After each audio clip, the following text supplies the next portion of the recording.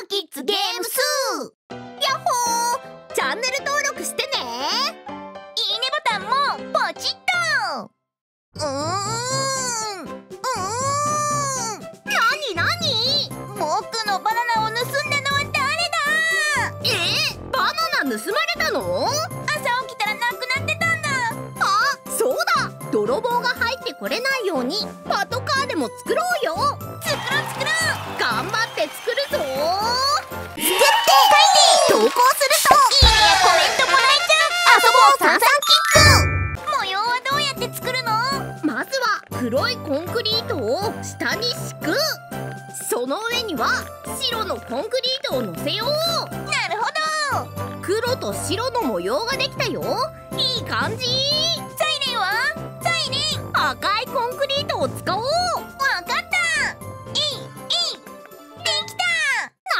違う。二人とも楽しそうね。わつくもーやっほー。あらとっても上手ね。ほんととっても美味しそうな日の丸弁当だわ。つこーち違うんだつくもーこれはパトカーだよ。あらそうだったのね。ごめんね二人とも。僕たちにはまだ難しかったみたい じゃあ私ともう一回作り直してみない？もいいの？ちろん。教えて教えまずは下の黒い部分を作りましょう。一番下にはタイヤを作るからその分の1マス分は空間を空けるわよ。て一旦ブロックを2つ重ねて下のブロックだけ壊すの。そこからブロックもつなげて。そうそう。合ってるわよそしたらその上に白のコンクリートを乗っけていくわ。トントントントン。トンあれ？さっきとやってることは一緒？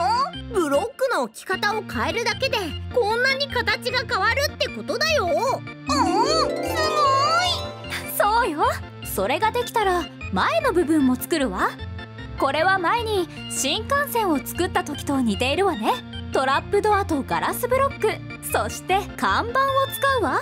トラップドアとガラスブロックは使ったことがあるけど。なんで看板？あ車の一台一台に番号がついているのは知ってる？僕見たことあるかその番号を看板を使って表すの。もそうなんだ。こんな感じでね。うんパトカーに見えてきた。このまま後ろも同じように作ってねてくもりんいいよいいよいいよいっと。ここはこうして。後ろもできた。くもりんとっても上手よ。次は横の部分と天井を作りましょう。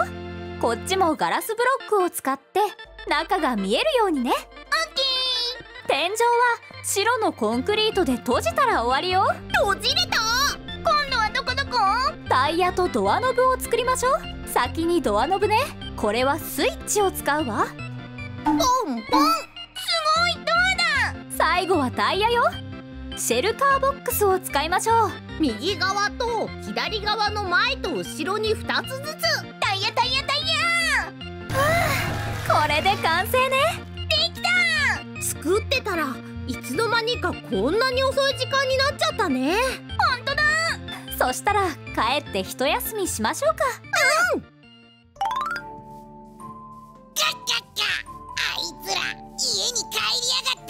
俺様がいるとは知らずにな。こんなパトカー壊してやる。ほらほらこうだ。うわりゃガッガッガなんて姿だ。笑えるぜ。明日あいつらが見たら驚くぞ。バレる前にとっとと退散するぜ。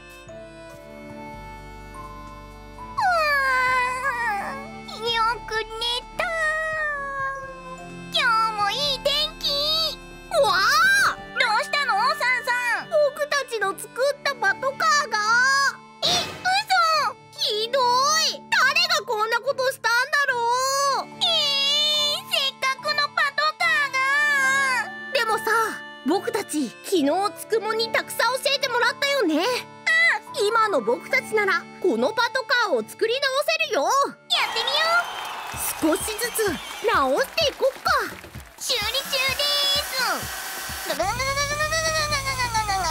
ブルドーザー通ります。いやいやそんなの使ったらまた壊れちゃうよ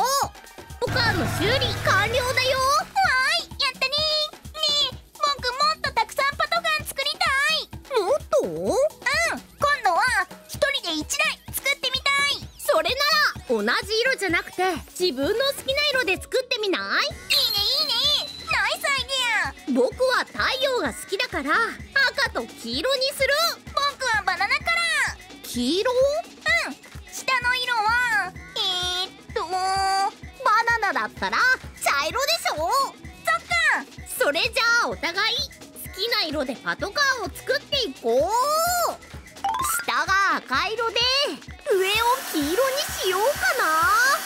こうしてこれでうんうんできてきた。上のサイレンはどうしようかな。オレンジにしよう。おお完成。ザンサンパトカーだ。ピッカピカだね。次はくもりんの番だね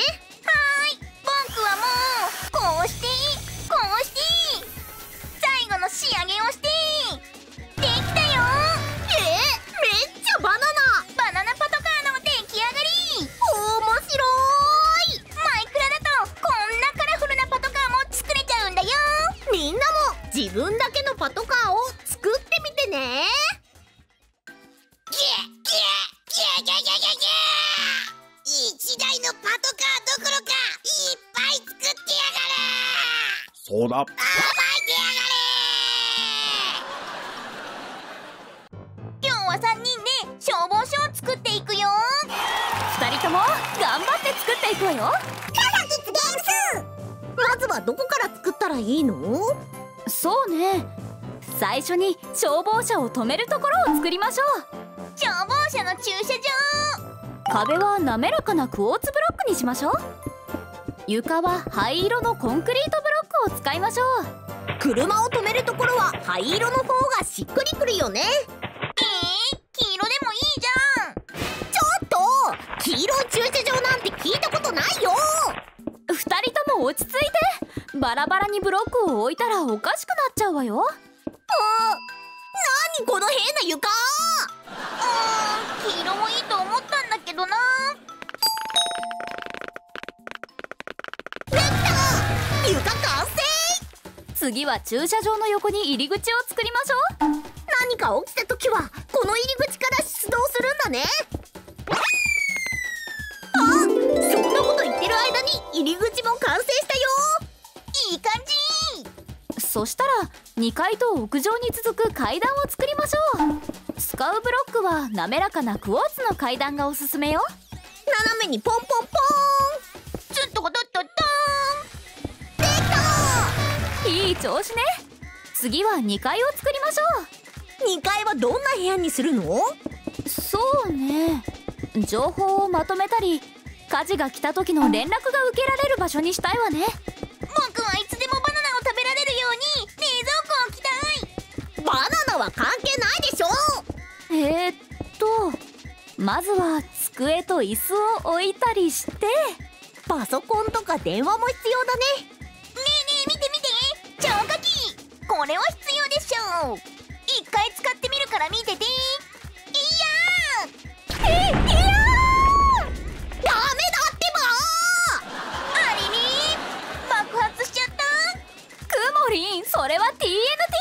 消火器はこっちえ嘘色が似てるから間違えちゃったもうよく見て使わないとごめん。なさい気を取り直してもう一度作り直しましょうそうだねうん。治った治ったよかった綺麗になったね2階はこれくらいでいいわね今度は屋上の訓練場を作そういえば消防署の訓練って実際にどんなことをしてるの？うそうね。消防服を早く脱ぐ訓練。人を助ける救出訓練。放水訓練や体力をつけるための訓練とか。そんな感じかしら？そんなに訓練するの？れて倒れちゃうよ。つくもこんな感じで作ってみたんだけどどうかな？あらいいじゃない。すごく訓練場っぽいわ。ここで僕も修行したらムキムキ雲になれるかな。なれるかもしれないわね。よし。それじゃあ最後の仕上げに行くわよ。さっき作った駐車場に消防車を作りましょう。待ってました。まずは赤いコンクリートで形を作るわ。四角い形にコンコンコンコンコ横にはドア正面にはライトもつけましょンドアをポンポン。ライトをピッカーン。う上に伸びるはしごもつけたら出来上がりよ。消防車できたとっても上手にできたわね。これで全て完成よ。頑張った。これでいつでも出動できるね。んなになになに早速緊急事態？近くのお家で火災が発生したみたいよ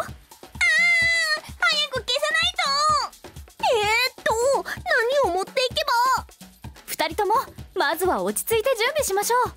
火を消すには自分たちの身を守ることも大事。この防護服を着て現場に向かうのよ。おおすごい。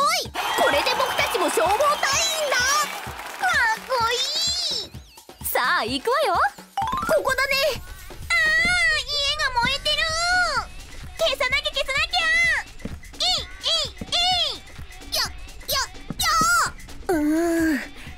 消えてるんだけど。この調子だと全然間に合わないよ。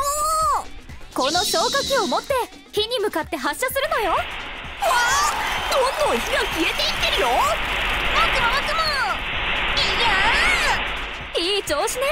このままどんどん消していきましょう。うにゃー。や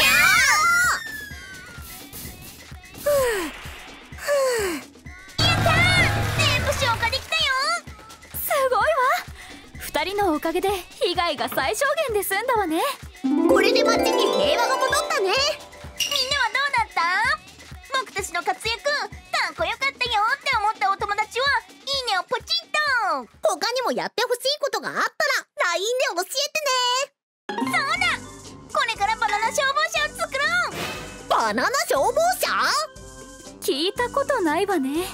バナナをたくさん発射できる車だよそれじゃあ消火ができないでしょそうだ。バナナ発射する車があってもいいのに。やっほー。サーさんだよクモリンだよ突然だけどさクモリンは新幹線好き。大好き大好き。かっこいいよね何の新幹線が一番好き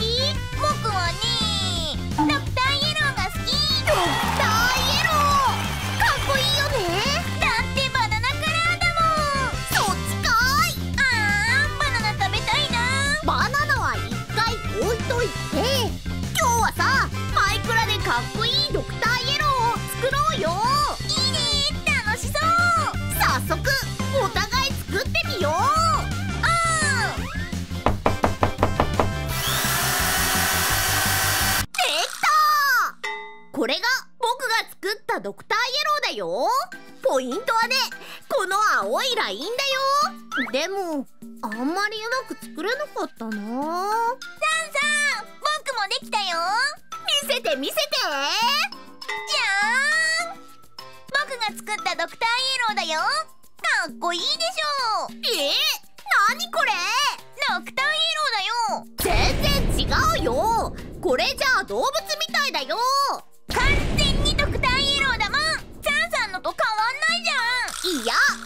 クモリンのと比べたら僕の方がかっこいいよ。絶対に僕のだよ。僕？ほらほらそれじゃあどっちがいいかわかんないでしょ？あつくも。2人とももっと上手に作れるようになりたくない？なりたい。私がアドバイスしてあげるからもう一度作ってみましょうわかったそれじゃあ早速作っていきましょうバ教えていくわよ。ナナクモリンどっか行っちゃったよ。わくもりんにもこの後教えに行くから大丈夫よ。かった。じゃあつくもよろしくお願いします。まずは土台を作っていくわよ。これって電車の床の部分？正解。これがしっかりしてないとかっこいい電車にならないのよ。大きくてしっかりした土台にしなきゃねここからは電車の先頭部分を作っていくわよ。僕電車の先頭大好き。先頭は電車の顔だからかっこよくしましょう。鼻はガラスを使って目は木のトラップドアというのを使うわよ。これを使うとうわすごい。目になった。これだけでもかなり電車っぽくなるのよ。さっきのとは大違この勢いで先頭部分を作っていくわよ。おお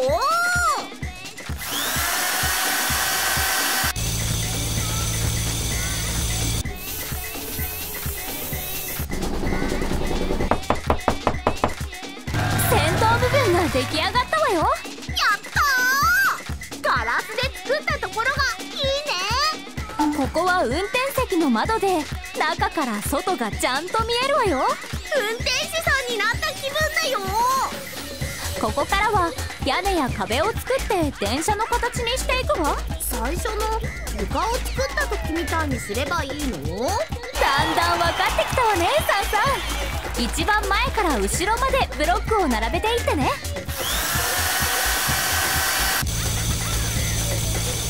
ドクターイエローの特徴でもある青いラインも同じように作っていくわよ。やっぱりこの青いのがところでサンさんはドクターイエローがどういう電車か知ってるかしら？うーん僕乗ったことないんだよね。ドクターイエローは普通の人は乗れないのよ。えー、そうなの？ドクターイエローはね他の新幹線とは違う目的で作られたのよ。ドクターってことはお医者さん？おいいところに目をつけたわね。ドクターイエローはね線路などをチェックする新幹線なのよ。そうなんだ。だから新幹線のお医者さんって呼ばれてるの。見た目がかっこいいだけじゃないんだね。そんなこんなで窓とドアができてきたわよ。ガラスで窓を作ってドアは木のドアだね。どんどん完成に近づいてきたわ。できたこれで電車の壁は完成よ。次は電車の後ろの顔を作るんだけど先頭と同じように作るの。僕一人で作ってみるね。つくもー。見て見て。よくできました。さっきと比べたらすごく成長した感じがするよ。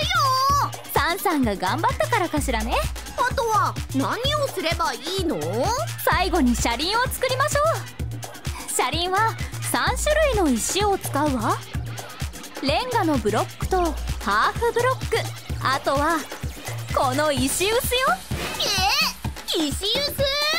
石臼ってあの石臼？餅つきするやつじゃないわよ。マイクラの石臼は道具を修理する道具よ。これが車輪になるの？この3つをうまく組み合わせると車輪に見えるのよ。うわー！本当に車輪だね。反対も同じように作ってね私はくもりの方に行ってくるわね。うんわかった。よーし頑張るぞ。ふうできたできた。そうだせっかくだし電車の中も作ってみよう。この階段のブロックを座席代わりにしようっと。通路のスペースを開けておくのがポイントだね。これ見たらつくも驚いてくれるかな？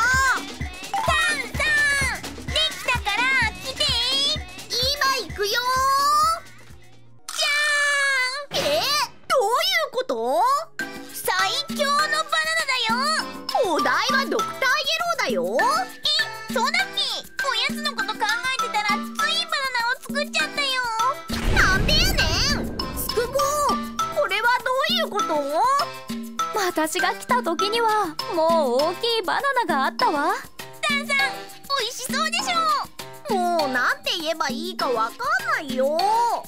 じゃあサンさんが作ったのを見に行きましょう。行こう行こう。楽しみ。じゃあ行くよ。3 2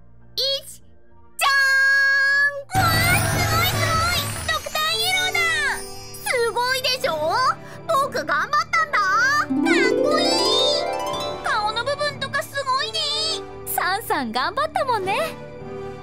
うん。でもつくものおかげだよ。ありがとう。実はねつくもに内緒で作ったものがあるんだ。何かしら？中にお入りください。うわ中もあるんだ。あらいつの間に？そうだよ。せっかくだから座席も並べたんだ。すごいじゃないサンさん。つくもく驚いたわ。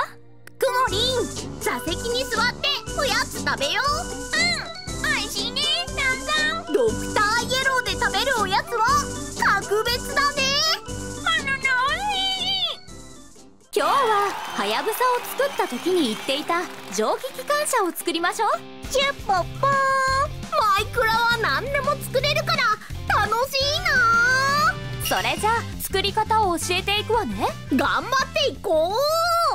これが主な材料よ。なんか似たようなのばっかで間違えそうだね。そうなのよ。SL 作りは材料を間違えないように注意してね。SL って何？SL は蒸気機関車のことよ。英語でスティームロコモーティブっていうの。それの頭文字の S と L を取って SL って言われるようになったのよ。へえ。よくわかんなかったけど蒸気機関車は SL って言うんだねわかってないんかでもその通りよ。難しいから SL が蒸気機関車ってことだけ覚えてね。あ？これってもしかして車輪を作ってるの？よくわかったわね。新幹線作る時も石臼を使ったよね。確かに。僕たちもマイクラについてだんだん分かってきたよ。2人とも成長したわね。いやそれほどでも。じゃあこの調子でどんどん進めていくわよ今かまど置いたよね。そうよ。前に少しだけ話したと思うけどこれが加湿っていうの。はやぶさ作りの時に僕が作ったやつだね。石炭を燃やす場所だよね。そういえば SL ってどういう仕組みで動いてるの？じゃあここからは SL の仕組みについて教えてあげるわこれまで作ってきたドクターイエローやハヤブサは電気で動いているのに対して SL は蒸気で動いているの。だから蒸気機関車って言うんだ。うん？蒸気って何？蒸気っていうのはね見えない水のことなのよ。え？水なの？くもりんは夜間で水を温めたことはあるかしら。あるよ。その時に白い黙々が出てきたことない？見たことあるあれはね蒸気が変身したものなの。蒸気が変身して見えるようになったのがあの黙々ってこと？そういうこと。ちなみにあの黙々は湯気っていうのよ。じゃあ煙突から出てくる煙も湯気なの？いいえあれは蒸気なの。でもあの煙は見えるよ。どういうこと？SL が石炭を燃やすのはわかるでしょ？うん。石炭を燃やした時に出た灰が蒸気に混じってるから煙突から出る煙は見えるのよ。なるほど。そしてその黙々が曇りになるのよ。えそうなの。冗談よ。あーびっくりした。話は戻るけど SL は石炭を燃やして水を温めて蒸気を出すのその蒸気の力で車輪が動いて走るのが SL の仕組みよ。SL ってすごいね。説明してる間にだいぶ完成してきたわ。いい感じだね。看板を使って車輪の部分を作ってね。看板を使うなんてびっくりだよ。ちゃんと車輪に見えるでしょ。見える見える。あとは SL の後ろの方だね後ろには運転手さんがいる機関室っていう場所と石炭を入れておく石炭庫を作るわ。SL の豆知識何か教えて？そうね。東京に新橋駅っていう駅があるんだけど駅前に SL が置いてあるの。なんで SL があると思う？なんでだろう？くもりん知ってる？お空から落ちてきたんだよねヒントはね日本で最初にあることをした場所だからよ。日本で最初に。電車が走った場所。正解。やった新橋駅は日本で最初に電車が走った駅でその記念に SL が置かれたのよ。へえ。そうこう言ってる間に完成したわ。できたいい。SL もかっこいいね SL は色合いがいいわよね。ガッガッガこの声はノイズ？こんなところにいいもんがあるじゃねえか。俺様にぴったりの色だぜ。これはお前たちが作ったのか？そうだよ。頑張ったんだ。ガッガッガそうかそうか。お前たちにいいことを教えてやる。この SL に爆弾を仕掛けてやったぜ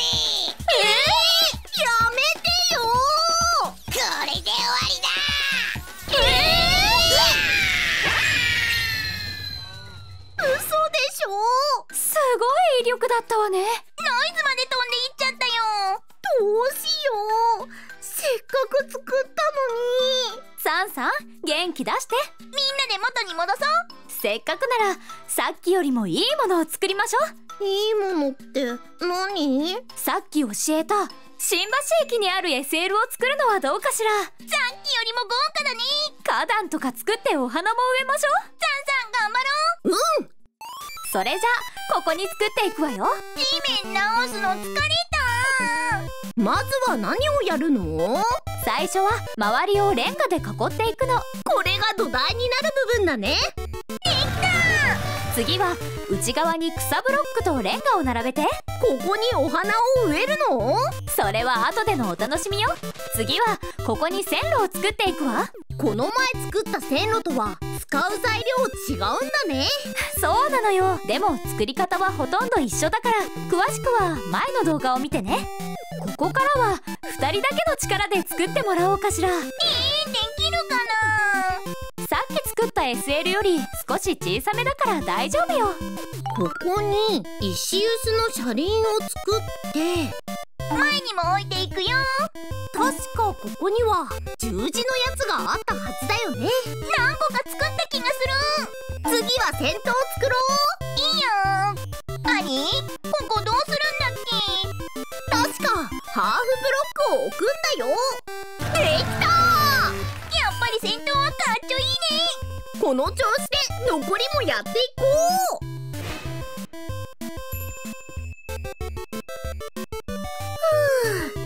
あとちょっとだ。完成。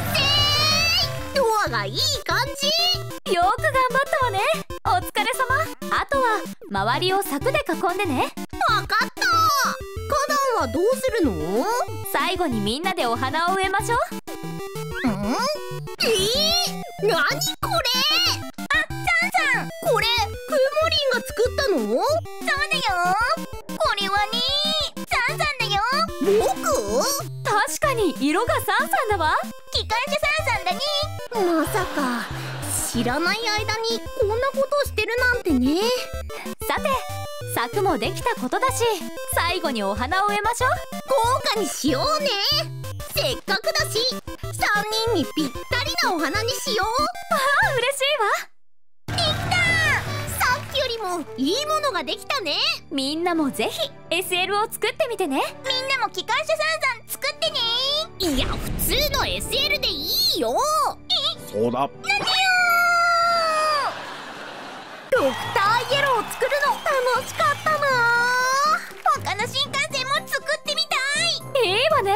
何作りたい？次は僕の好きな新幹線作りたい。サンさん何が好きなの？僕はねはやぶさが好き。じゃあはやぶさを作りましょう。やったー！はやぶさの作り方ってドクターイエローの時とは違うの？いいえ実はね作り方は一緒なのよ。そうなの？そうなのよ。色を変えるだけで作れるの。じゃあ横にあるド見れば僕たちでも作れるね詳しい作り方は前回の動画を見てね。今回は自分の力で作ってみるよ。お手本があるから簡単だねドクターイエローの黄色いところを緑にして。ここはこれでいいんだよねそうそう。よし。この調子で作っていこう。できた。先頭かっこいい。緑色もいいねここから一気に作っちゃおう。作っちゃおう。完成。2人ともお疲れ様。前回の通りに作ったらちゃんとできたよ。よかったわ。二人に僕が作った電車の中見せてあげる。えいつの間に作ったの？それは見るのが楽しみだわ。こっちこっち。えちょっと。煙が出てる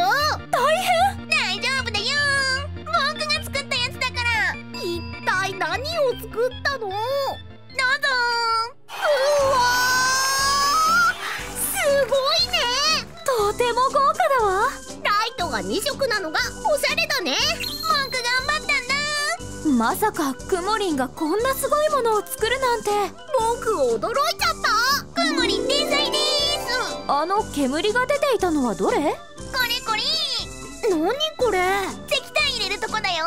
もしかして加湿個室って何？石炭を入れて燃やす場所なんだけどそれがあるのは蒸気機関車よ？そうなの？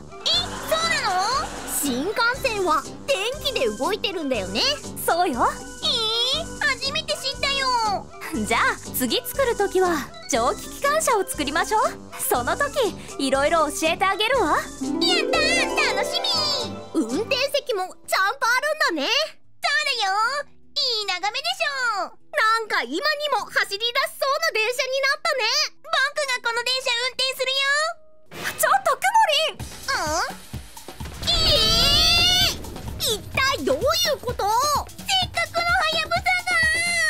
サがくもりんあなたが置いていたあの赤いのは爆弾よ。えー、そうなの？もしかして知らないで置いてたの？うん赤くてかっこいいから置いてたんだ。ただの飾りだと思ったから言わなかったんだけどまさか使うなんて思わなかったわ。どうするのこれ？全部台無しだよ。元通りに作り直すしかないわね。そんなく頑張って作ったのに。くもりん。サンさんにごめんなさいしましょう。ごめんなさいうん。いいよ。それじゃ頑張って作り直しましょうよし頑張ろう。うん。ただ作り直すのもあれだしクイズでもしてみる？何のクイズ？はやぶさクイズよ。やりたい。それじゃあ第1問よ。はやぶさは時速何キロで走るでしょうか？うーん。難しいなちなみに私たちがよく乗る普通の電車の平均速度は80から100キロって言われているわ。はい。はいサンさ200キロ。ん残念。違うわ。はい。はいくもりん。1万キロ。い1万キロ？違うわよ。2人とも不正解。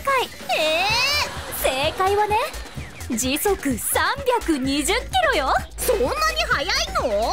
はやぶさはね日本一速い新幹線なのよ。でも時速320キロってどのくらい速いか想像がつかないなじゃあ自転車と比べてみましょう。みんながよく乗る自転車はだいたい12から18キロなの。へえ。はやぶさはそれの約18倍の速さもあるのよ。さすがはやぶさだねじゃあ今の話の流れで第2問よ。はやぶさはなんではやぶさというでしょうか？うーん。はいはい。はいくもり。ん早いから。そんな簡単なわけ。大体合ってるわ。えー、嘘でしょ？わ完全に正解ではないけど早いからよ。ーいどういうこと？2人ははやぶさっていう鳥知ってるかしら？うん知ってるよ。はやぶさはね時速300キロで飛ぶ鳥で一番速い鳥って言われてるの。はやぶさと似てるね。そう。日本で一番速い新幹線とイメージがあったからはやぶさっていう名前になったのよ。そうなんだ。くもりん知らないのによく正解したね。マはやぶさについてよくわかったかしら。ニーうん。さらにはやぶさのことがそれはよかったわ。ねえつくもせっかくだからさせーのとか作ってみたい。いいわね。じゃあ作り方を教えてあげるわ。くもりん僕させーのを作って壊れた地面を直すから電車直すの任せてもいい？うんいいよ。任せてありがとう。じゃあ後でね路ってどうやって作るの？線路はとっても簡単に作れるのよ。道具は3つだけ。黒菓子の木の階段菓子のハーフブロック安山岩のハーフブロックよ。これだけなんだ。こうやって樫のハーフブロックを階段で挟んで並べるの。一番外側にまた樫のハーフブロックを置いてこの間に安山岩のハーフブロックを敷き詰めれば線路よこれってもしかして線路の砂利の部分？そうよ。よくわかったわね。木と石を交互に並べていけばいいんだね。とっても簡単だったでしょ？うん。これなら僕一人でも作れそうだよ。よーし頑張るぞ。線路できたよ。ずいぶん長く作ったわね。うん。頑張ってよ。ちゃんと教えた通りにできて私も嬉しいわさん。くもりんわあ線路だ。すごいでしょ？くもりん電車の方は完成したの？バッチリだよ。きっと驚くよ。見せて見せて。あれ何かしら？え何あれ？こっちこっち。じゃーん。すごいでしょ。一体どういうこと？はやぶさとドクターイエローを合体させてみたよ。はやぶさ作ってたんじゃないの？どっちもかっこいいからさ合体させたらもっとかっこよくなると思ったんだ。確かにどっちもかっこいいけどさ。車内はちゃんとしてるのね。もう爆弾なんてないよね。安心してもうないよ。ドクターイエローと合体させたのは分かったんだけどこの翼とヒレは何かしら？いいでしょこれあった方がかっこいいよね。もしかしてはやぶさだから翼をつけたの？なるほど。うん？2人とも何言ってるの？さっきはやぶさの名前の由来について話したじゃない。そうだっけ。何も考えてなかったんかーい。そうだ。ササキッズゲームスヤッホー。チャンネル登録してね。いいねボタンもポチッと。